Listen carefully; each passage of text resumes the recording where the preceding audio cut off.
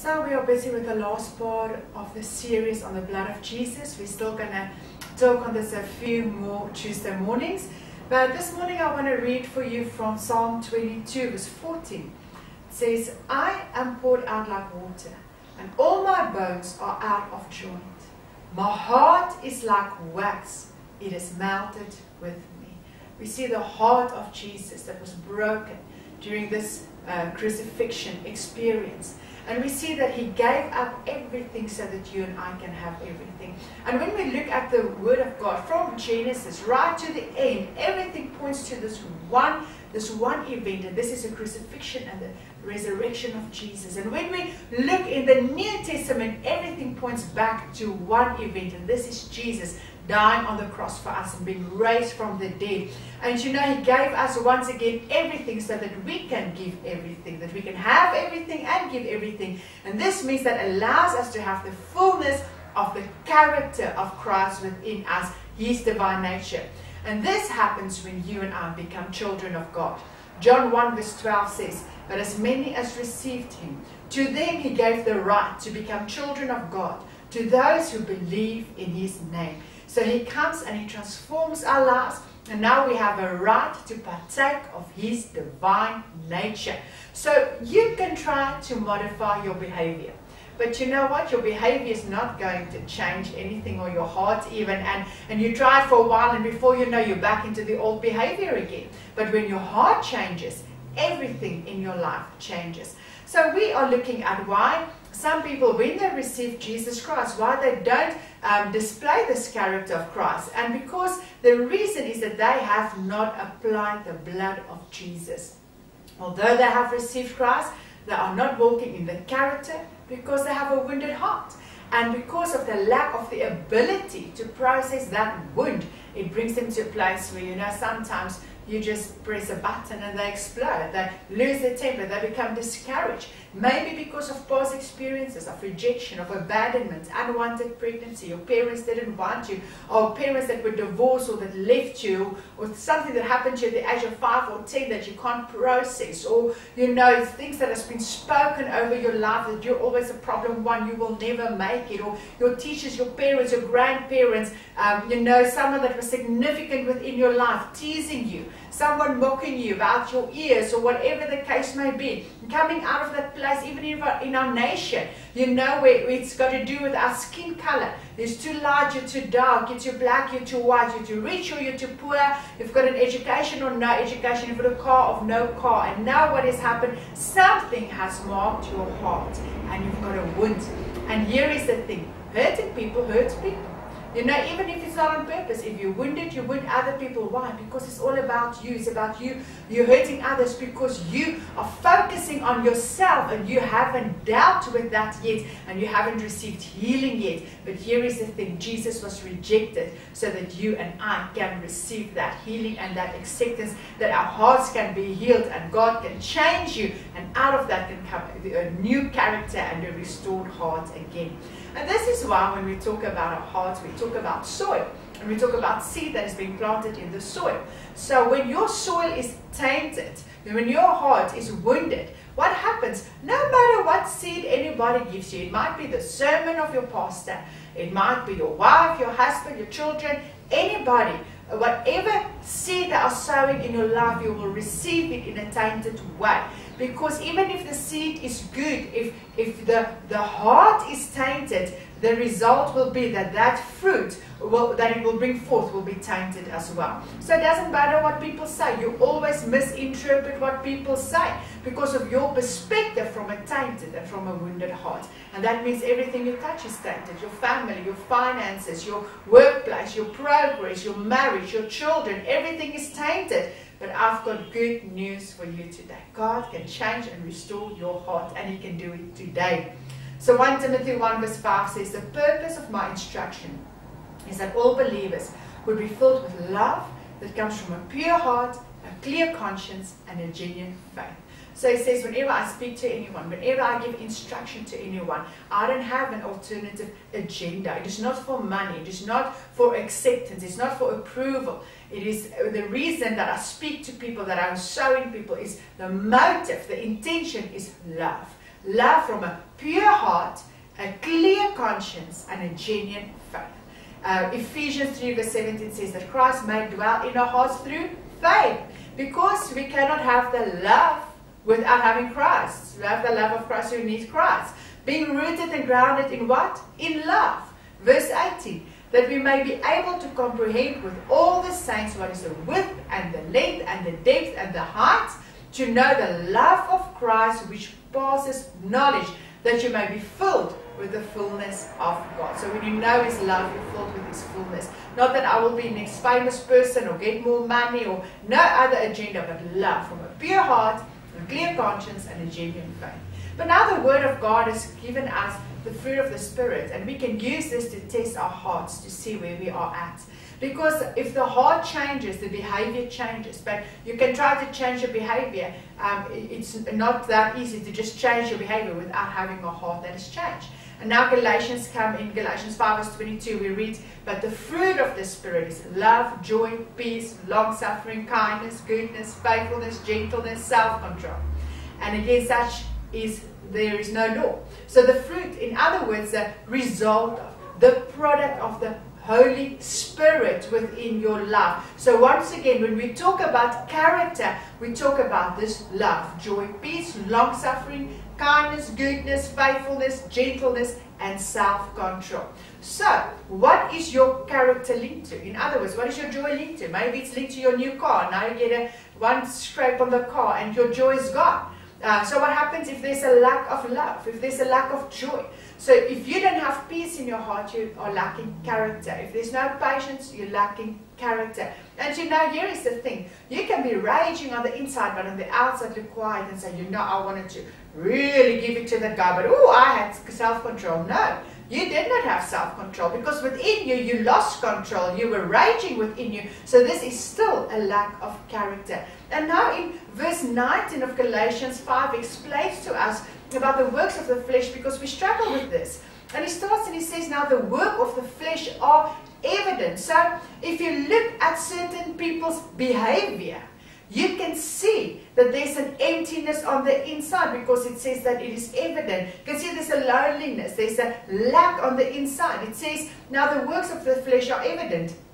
These are people uh, that are, are having a wounded heart. It says, which are adultery, fornication, uncleanness, lewdness, which means an insatiable desire for pleasure, idolatry, sorcery, hatred, contention, jealousy, outbursts of wrath, selfish ambitions, dissensions, heresies, envy, murders, drunkenness, revelries, which is wild parties and overindulgence, no matter how, and the like, of which I tell you beforehand, just as I also did in time past, that those who practice such things will not inherit the kingdom of God. And we say, you know, this makes you a good person and this makes you a bad person. No, this makes you a wounded person. That is why you need to do what you do. You are wounded, you're a hurt person, you're a lonely person, you're a struggling person.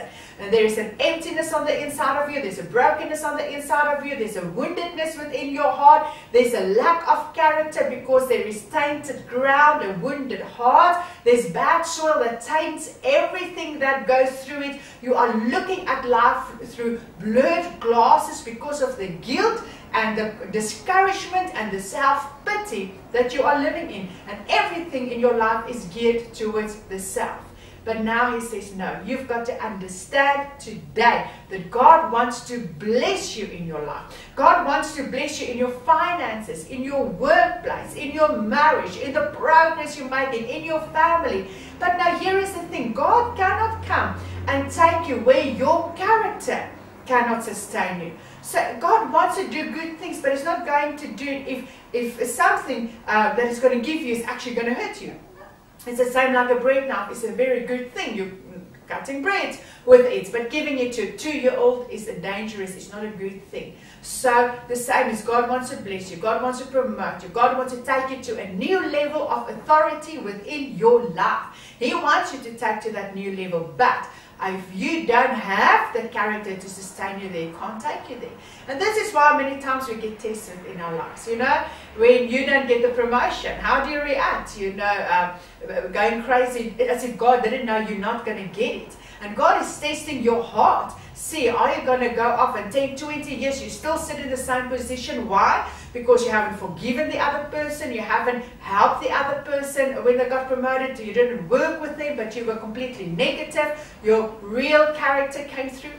Someone owes you money in your business 20 years later, you're still struggling. Why? Because you're still looking for that money that you stole, not realizing that if you let it go, God can bless you with so much more and He can give you new money, new things in your life to bless you with. But now your character is tainted, your heart is tainted, everything you see through blurred eyes, and God cannot give you that promotion because your heart is not right, your character is not right, you will not deal with it. And sometimes God works hard to give you something and you just destroy it in one moment because of that lack of character within your life.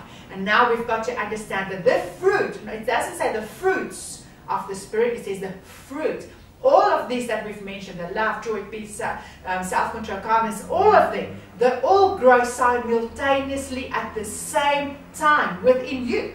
You can't come and say, you know, I have love, but I don't have patience. You can't have the one without the other. If you don't have patience, you don't have love. You can't come and say, I have joy, but I have no self-control.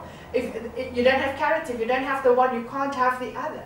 But now, what is a remedy? What do we do to change our hearts? And here Psalm 51 comes and he says, Have mercy upon me, O God. He doesn't say, Well, Lord, you know, I deserve this. You know, this is my right. This is no.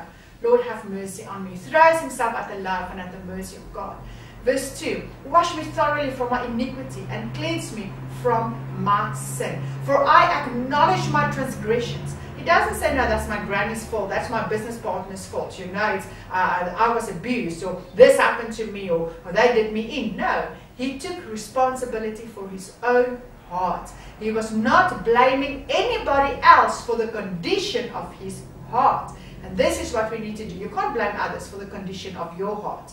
Verse 3 I acknowledge my transgressions, and my sin is always before me against you, and you only have I sinned and done this evil in your sight.